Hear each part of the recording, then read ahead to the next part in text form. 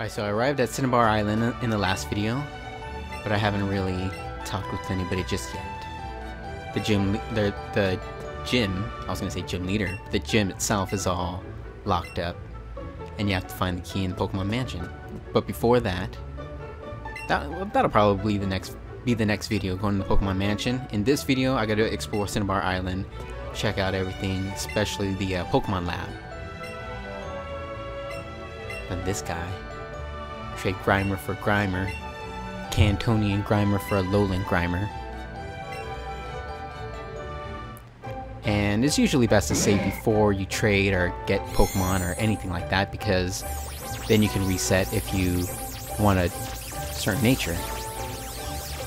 Although with trades, you can just keep trading over and over and over, so... Donnie Darko.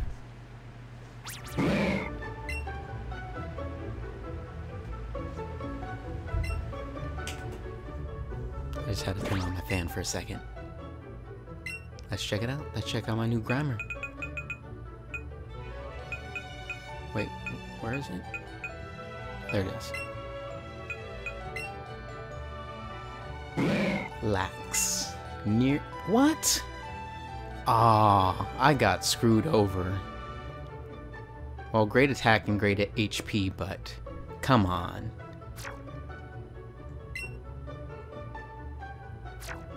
Nature's not even that great. I can always catch another Grimer. I was actually thinking of using a Grimer and a Muk with my team while rotating it out, because that's a Pokemon that I haven't really used, and it seems pretty decent, kind of like Kingler. And there goes the dogs.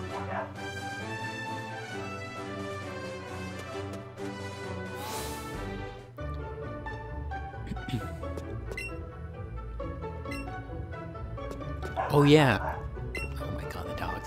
but I need to fly back to Celadon actually to buy like those TMs and another water stone for my Shellder that I caught.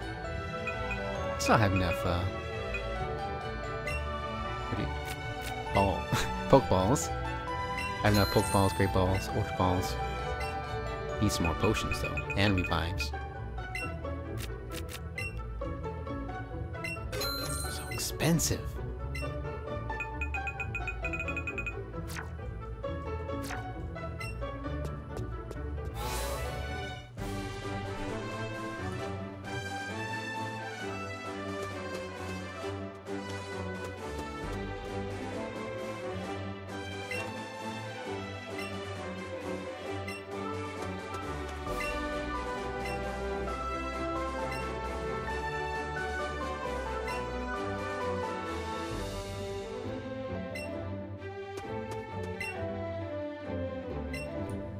They actually put a quiz for finding the key. That's pretty cool, since he's the quiz master.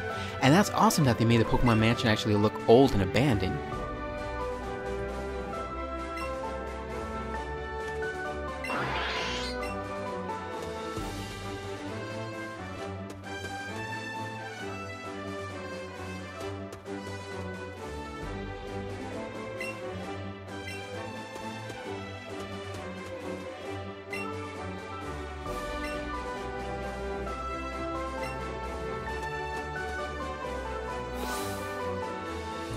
One of those weird islanders, an island native.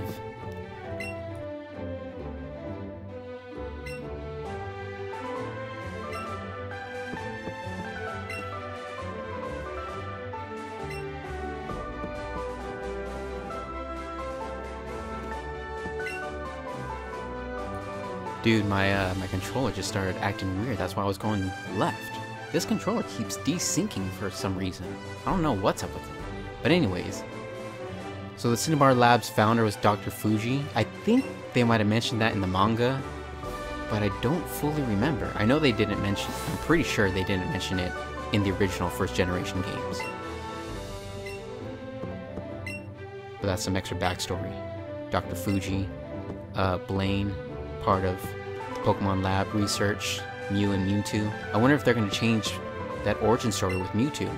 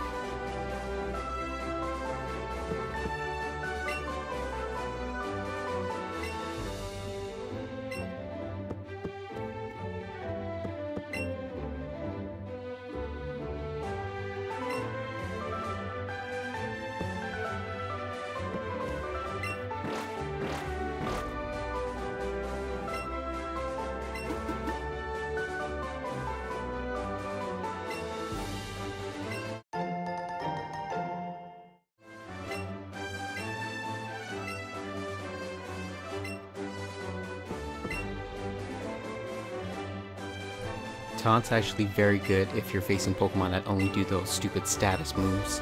Poison, Powder, and, and Confusion and all that junk. Then they have to uh, use damaging moves. And if they don't have damaging moves, I think they use Struggle.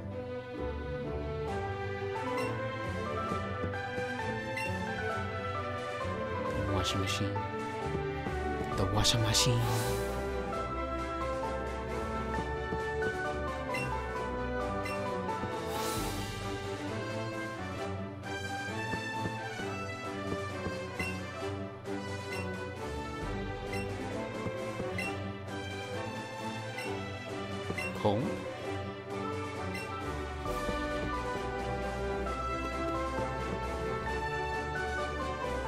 Gotta save right here, because this is...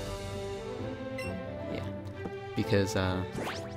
This is where you revive the ancient Pokemon fossil DNA stuff, or whatever it is.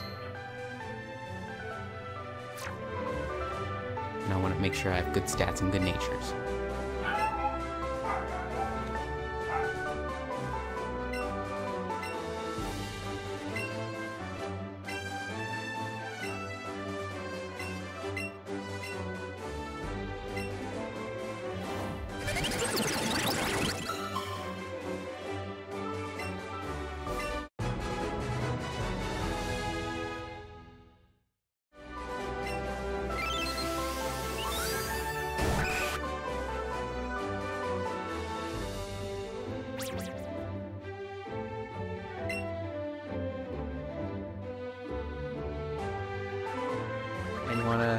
Tell people about that that sign you said that supposedly was on Cinnabar?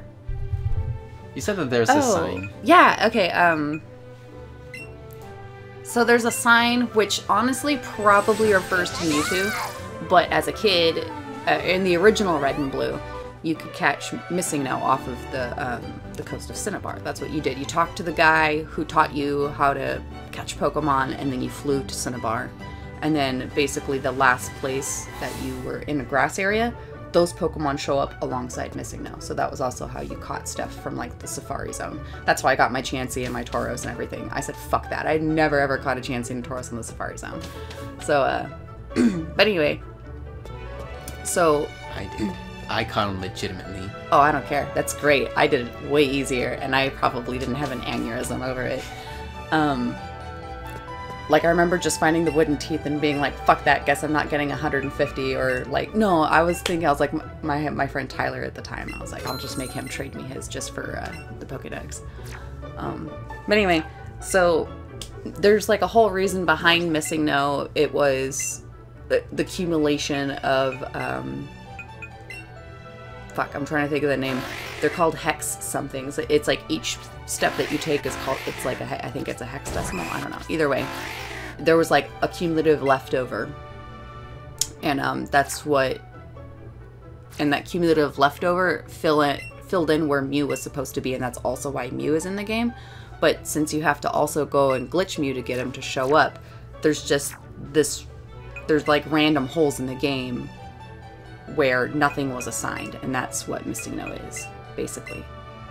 And uh, but they're aware that it's there, like they put it there, but it wasn't completely intentional. It was more like there was a mistake. It can't really like fuck up the game that bad. It just doesn't happen, you know, like games were back then. And uh, there's a sign on Cinnabar Island in the old game. I will, I'll find it and then I'll, I'll give you like a screenshot or whatever.